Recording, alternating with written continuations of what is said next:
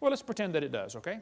This textbook says humans and orangutans are 96% similar, proving a common ancestor 15 million years ago. I don't think so.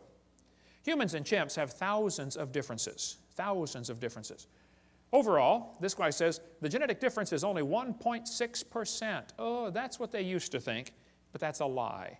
Barney Maddox was the leading genome researcher on this project. He said the genetic difference between human and chimpanzee is at least 1.6%. It doesn't sound like much, but calculated out, that's a gap of 48 million nucleotides.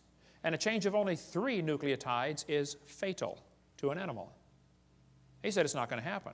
That's when they thought the difference was 1.6%. It's still too big of a gap. Now then, later they found out, oh, actually it's a 95% similarity, which is 5% difference. And just recently they said, oh no, wow, look at this, it's 7.7% difference. The difference, the more we study about this, the worse the problem gets for the evolutionist. Actually, it's becoming worse by the day.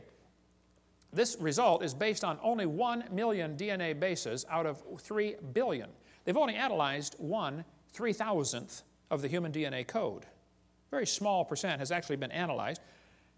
French and American scientists have mapped chromosome 14, the longest sequence to date, and the site of more than 60 disease genes. The feat enlisted nearly 100 researchers and marks the fourth of the 24 human chromosomes mapped so far. If somebody tells you they have mapped the entire human genome, you tell them Kent Hovind said they're mistaken or they're lying. Okay, they've only mapped a small percentage. Okay, then it says uh, the French National uh, Sequencing Center said the chromosome is compared is comprised of more than 87 million pairs of DNA, all of which have been sequenced, so the chromosome's map includes no gaps. This is the longest piece of contiguous, contiguous DNA sequenced. 87 million pairs, a fraction of the total 3 billion pairs found in the human genome. They still don't know how much there's in there, and it's already 7.7% difference.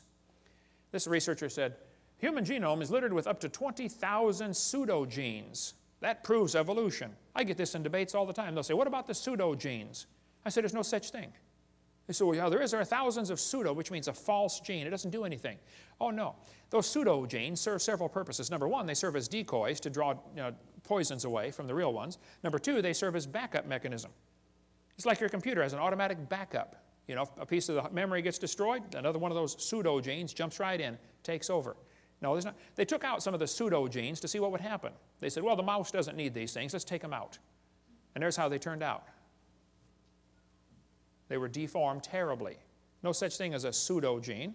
The pseudo gene may function as a decoy to lure away destructive enzymes, Discover Magazine of 03.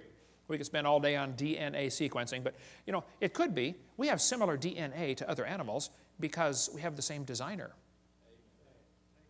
You know, similar bridges would have similar blueprints, wouldn't they? Similar cars would have